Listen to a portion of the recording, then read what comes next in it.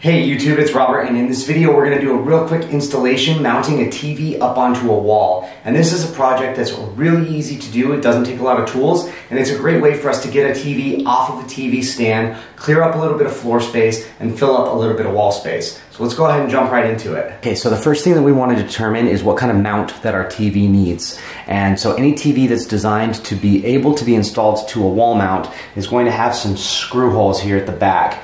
And these are going to be spaced in different sequences depending on the particular TV. So if we open up our quick setup guide for whatever TV we purchased, we should find in the page referring to wall mount installation that we will have wall mount hole pattern. That pattern is also referred to often as the VESA pattern, which is just a measurement of the width and the height or length of those holes. Then secondarily, we have our wall mount screw size, which is the size of the screws that are uh, needed to, to go into the back of the TV. In this case, M6.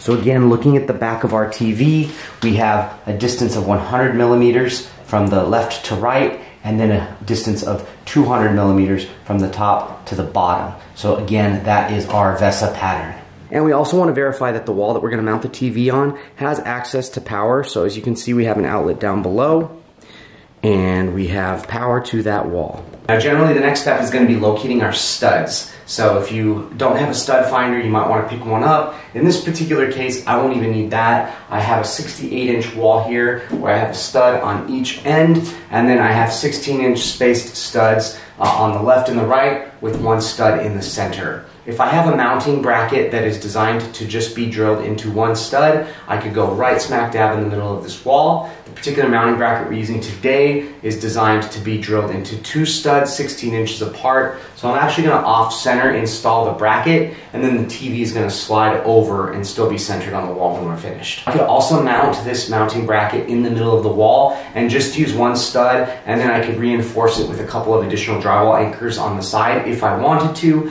But for this particular purpose, assuming you guys at home are gonna be going 16 inch studs apart, that's how we're gonna do it today. And the TV mount that we're using today is just one from Amazon. There's a thousand different versions of these on there, uh, but I will include a link to this particular one. It's going to come with the screws that we need. Those M6 bolts are actually in here. They did not come with the TV, they come with the mount. We have our screws that we'll be driving into the studs. We have a small level that we can use to make sure our TV is level. If you have one at home, that's kind of a small one, but it'll get the job done. We have our two arms that will actually hold the TV and then these will go onto the wall mount itself. Now this wall mount itself is very heavy duty. It's actually significantly heavier even than the TV that we're putting up today, but it is capable of holding a much larger TV should they ever decide to upgrade to a larger TV on this wall. All right, guys, and there's going to be a little change in the audio here because I was getting a lot of background noise, so I'm going to narrate over these next few clips. But I'm now marking for where the TV wall mount is going to go. And when I measure for the height from the ground up to the wall plate, I need to remember our TV screen is going to sit lower than where our mount is going to be. So I need to deduct the distance from the bracket where that will sit on the back of the TV to the actual bottom of the screen to make sure that I don't have my TV sitting lower than what I anticipated it at. We've marked those holes and now we're gonna go ahead and drill our pilot holes. We drill through the drywall and then we should feel some resistance when we get to the stud. And as I go ahead and I start to pull my drill back out, we're actually gonna see some of that wood grain getting pulled out as well. And once I've drilled my pilot holes, I am ready to mount my TV wall mount bracket. I start by hand tightening the bolts into the studs just enough so that I can support the weight of the wall mount because it's very heavy. So I kind of hand tighten all four of my bolts first. That way they're supported and then I can get out my actual socket wrench to tighten the bolts the rest of the way. All right, and once I've hand tightened those all, then as the bracket is supporting itself, I can go ahead and use my socket wrench to tighten these all the way in. Now this one I'm using actually came with the wall mounting bracket, and I'm using it to show that it will get the job done. However, it's a lot of work. If you have an actual socket wrench at home already that you can use to do this, it'll make your life a lot easier. You won't have to muscle through this so much. And once we've got them all completely tightened, you can see we are ready to set our mounting bracket back in place against the wall. And then as we extend the arms of our mount away from the wall, we see there is no movement at all in the plate against the drywall. Now we're going to just need to attach our actual arms to the back of the TV. As you notice, they have a slot here that's designed to hook over the actual bracket with screws that will tighten the bottom to keep it in place. So we're going to go ahead and bolt our arms into the back of the TV. We need to decide which hole that we want those in. It will affect the height that the TV sits.